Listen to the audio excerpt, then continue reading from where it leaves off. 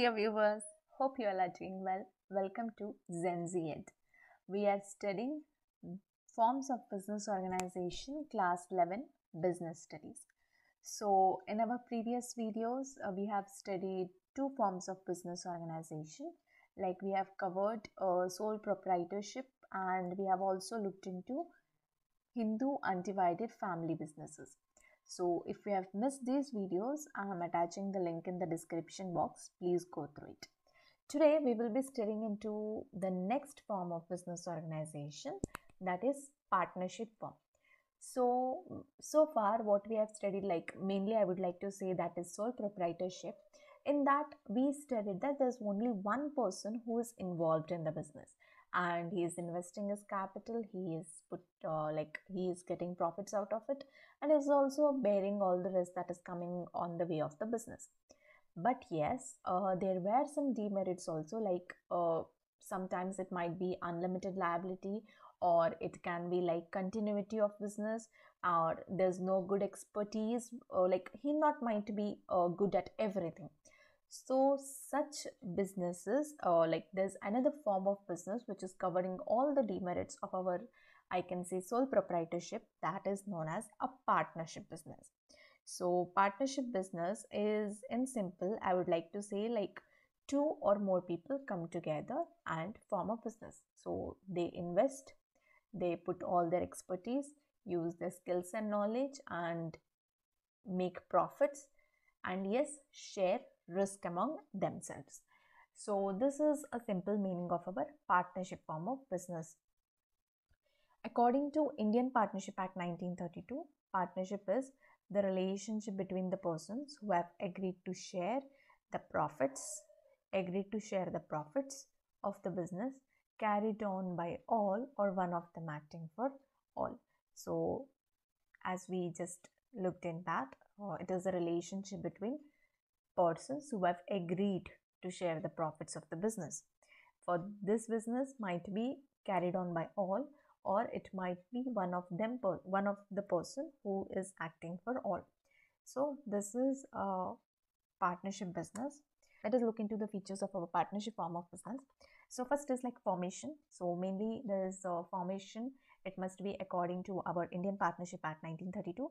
So there's a we have like there's an agreement uh, known as partnership deed where all the terms and conditions of the partnership like the complete details of the partners what are the capitals they are bringing in and what is the share of profits or what is the share of loss uh, what is the liability everything is mentioned. So it's the formation is according to the indian partnership act 1932 so the next feature is liability. So the one thing that to remember is that the liability of our partnership form of business is unlimited so like repaying the debts the partners even have to keep from their personal liability uh, to pay off the debts. So it's like unlimited liabilities. So next is like risk bearing. Yes the risk is shared among all. As the profit is shared among all the risk is also shared among all the partners.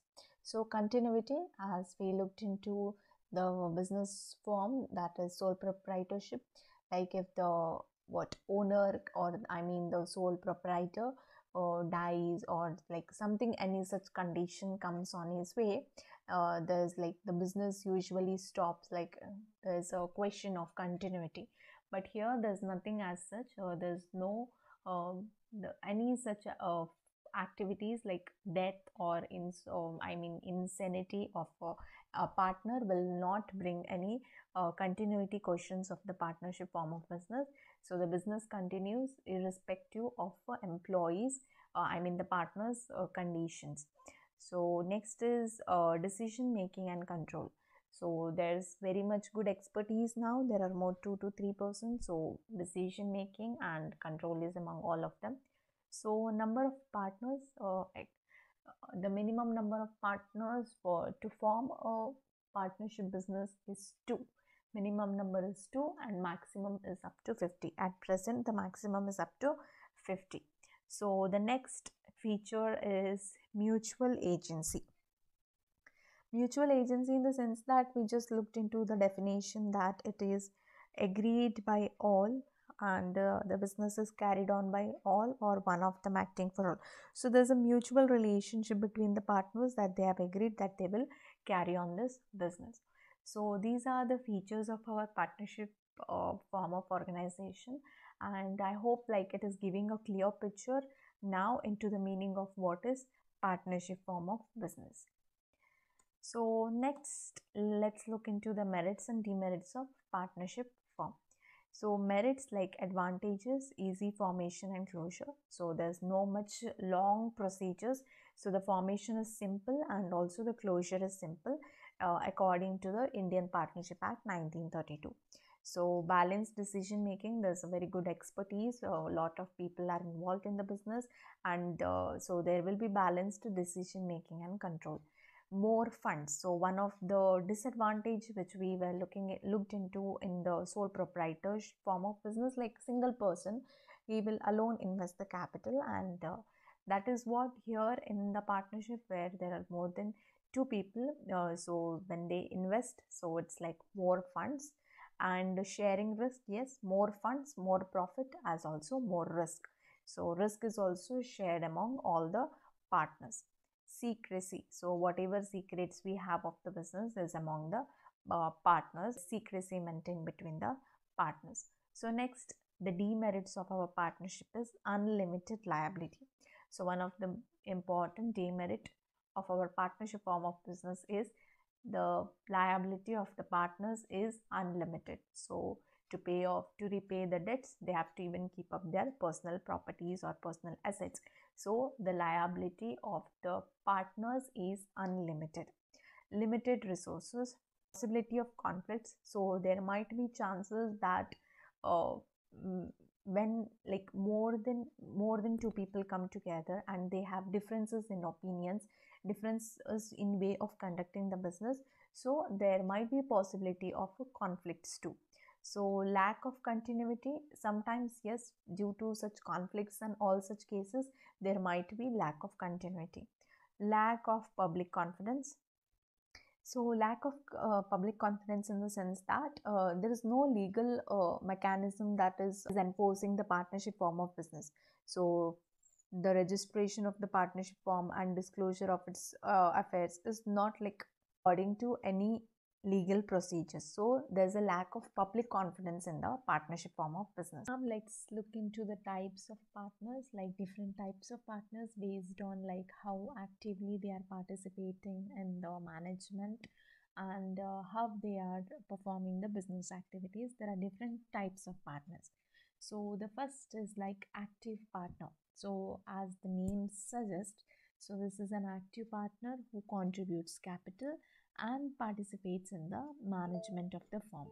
So like it sh- he shares in profits and loss and his li- and his liabilities unlimited to the extent of creditors of the firm.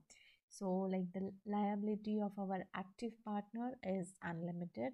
He actively takes participate in the management and contributes the capital. So the partners take act actual part in carrying out the business on behalf of other partners. So this is our active partner. Next we have like sleeping or dormant partner. Here again as the name sounds like they do not take active part in the day-to-day -day activities are called as sleeping partners. But yes, they contribute capital and uh, they have their share in the profit and loss and their liability is unlimited too. So as our active partner and sleeping partner both contribute capital, share profit and loss and have unlimited liability. But active partner is active and carry on the business whereas uh, sleeping partner uh, does not actively carry out day-to-day -day business activities. So next is like secret partner. So secret partner is like this partner exists but the general public will have no information that this partner is a partner of partnership firm. So yes, a secret partner is a person whose association with the firm is unknown. The association firm is unknown to the general public. On the other hand is this distinct feature all the aspects it is like the rest of the partners. He contributes to the capital takes part in management shares profit and loss and uh, unlimited liability. Yes his liability is unlimited. He shares in the profit and loss. He invests the capital but his identity he is unknown to the general public that he is also a partner of this partnership firm. Next is like nominal partner. So the nominal partner is one who allows his or her name uh, to use by the firm but does not contribute his capital. So nominal partner is like only his name they are using as a partner but he is not investing any capital in that business. So it does not take any active part too and does not share any profit and loss but he is liable like other parties to the third like other partners to the third parties for the repayment of a firm's debts. So nominal partner he is like does not contribute to the capital has uh, does not share any profit and loss does not take any active part. Only his name is used in the firm that he is a partner. But yes he has some liabilities that uh, he has the liabilities to third party for the repayment of the firm's debts. Next form of uh, next type of partner is partner by estoppel so next type is partner by estoppel a person is considered a partner of a estoppel through his or her own initiative conduct or behavior gives an impression to others that he is a partner of firm so like based on our actions based on our initiative our behavior we are giving an idea to the others that they are the partner of the firm. So that is a partner by estoppel so partner by holding out is the next. Like partner by holding out is a person though is not a partner of a firm but knowingly represents himself as a partner of a firm. So partner by holding out is like the, that person is not the partner but he knows that he is not a partner but still he represents himself as a partner of a firm is known as partner by holding out. Such a person becomes liable to outside creditors for repayment of any debts which have been extended to the firm on the basis of such representation. So when he is representing himself as a partner to the outside creditors and if they, like he becomes liable for the repayment of the debt for those outside creditors so this is partners by holding out. So like we study different types of uh, partners and like as the names was suggesting uh, those were like the name itself gives us an idea like what type of partner is this. And this is one of the important concept. Though the limited for all uh, i mean the liability for all the partners is unlimited we have to just uh, understand the uh, term the name of the partner according to that we can uh, find out whether they are investing the capital and their share and profit and loss. But yes the liability will be unlimited. So next will be like types of partnerships like types of partnership forms. There are like classification on the basis of liabilities. One is like general liability and the other one is like limited liability so the general liability is nothing but unlimited liability. So all the partners have unlimited liability for a business's debts and obligations. So if like a partnership owes money to the another company a creditor can collect on an individual partner who would uh, then be responsible for that portion of the debt. So the general partnership is nothing but a unlimited partner uh, i mean unlimited liability so the next is limited liability or uh, limited liability as the name. Again suggests limited is nothing but uh, the liability is limited up to the capital investment or the capital contribution. So this is one type of partnership. So next is like the classification on the basis of duration. So here the, du- the there are two types of uh, partnership here. That is partnership by will and a particular partnership so the partnership by the will is like there's no fixed time for this partnership business. So the like if they want to dissolve or discontinue the partnership, the partners can give notice to the other partners and they can dissolve. So like the part this form of partnership will is like the will of the continuity is mainly lies with the partners whereas in our particular uh, partnership uh, form of business so there's a particular specific uh, time period we can say. So after that time period the business comes to an end or we can say there's a particular uh, goal or aim that the business wants to achieve and once that is done the partnership comes to an end. So these are two types of partnership. That is uh, on the basis of liability general and the limited liability. On the basis of duration it is a partnership at will and particular partnership. So i hope this is clear let's move to the next concept that is partnership deed. So now what is partnership deed? Uh, partnership deed i can say in simple terms it's an agreement where there's a detail of everything. Detail about partner detail about partner how much capital is he bringing what is his share of profit how much uh, loss he has to bear what will be his extent of liability and all and even the personal information of the partners is all recorded in the that oh, agreement. So it is like a partnership deed. So a partnership is a volunteer association of people who come together for achieving common objectives. So in order to enter into partnership a clear agreement with respect to terms, condition and all aspects concerning to partners is essential so that there is no misunderstanding later among the partners. So as we read out here, a clear agreement and that agreement is about terms, condition and all the aspects which are concerned in a partners or partnership form of business and this is important because there is, should be no misunderstanding later in the partners. So let us see what are the contents of our partnership deed. So first will be like name of the firm. Next nature of business and location of business. So what kind of business this uh, partnership will undertake and what is the location of the business duration of the business. So like it will be a partnership at will or a partnership or uh, like particular partnership. So what is the duration? Investment made by the each partner contribution of profits and losses. So what is the investment or what is the capital investment by all of our partners? What is the distribution of profit and loss? Duties and obligations of the partners. Salaries and withdrawals of the partners is also uh, mentioned in our partnership deed. Next we have terms governing the admission retirement and exclusion of the partners. So like what what are the steps to be taken when there is like we are admitting a new partner so like when there is a new partner so more profit will come. I mean more capital is invested. So when the new partner also comes in so there should be a share of profit for him too. So there will be again the calculation of new profit sharing ratio. So all such uh, calculations or uh, the terms which govern the admission and on the retirement if the person is leaving.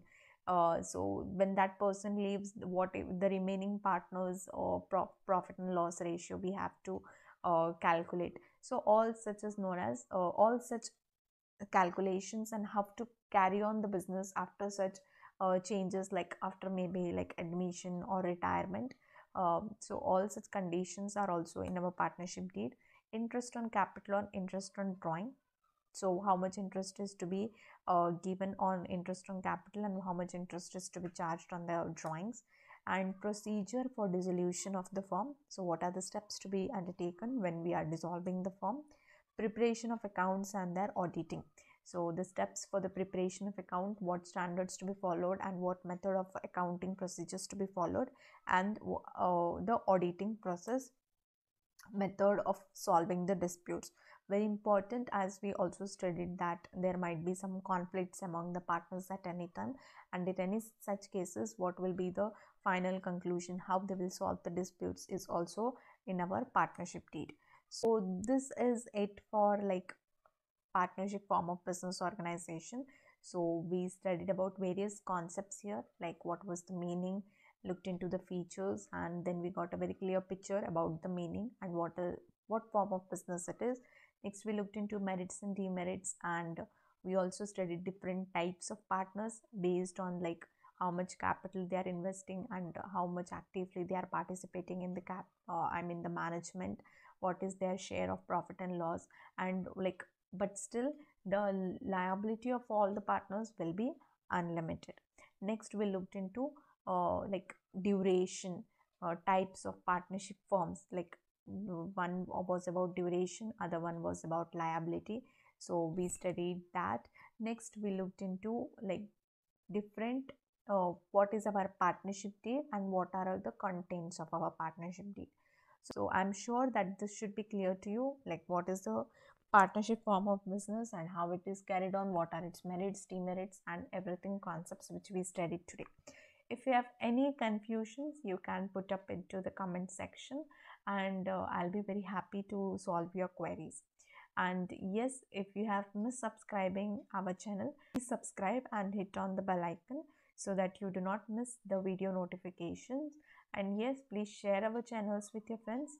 And yeah happy learning. See you in the next video with the next form of business organization